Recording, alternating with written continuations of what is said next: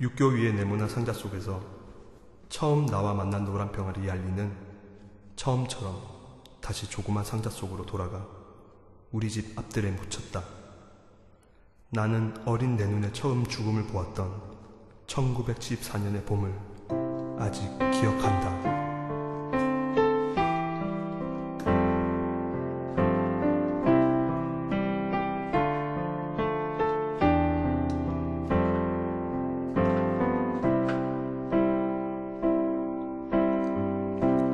내가 아주 작을 때 나보다 더 작던 내 친구. 내 두 손 위에서 노래를 부르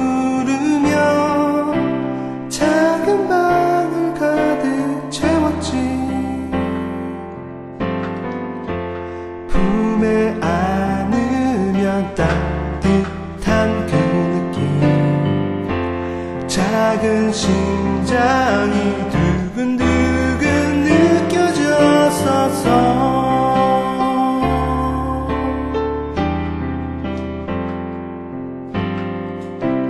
우리 함께한 날은 그리 길게 가지 못했지. 어느 날 얄리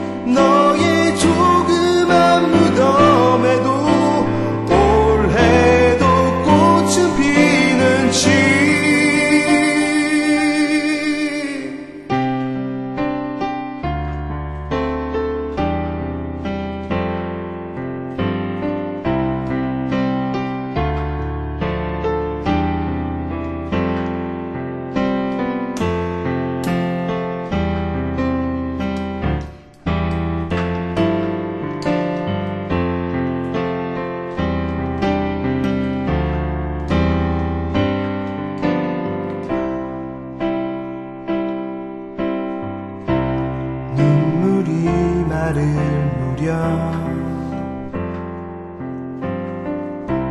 희미하게 알 수 있었지.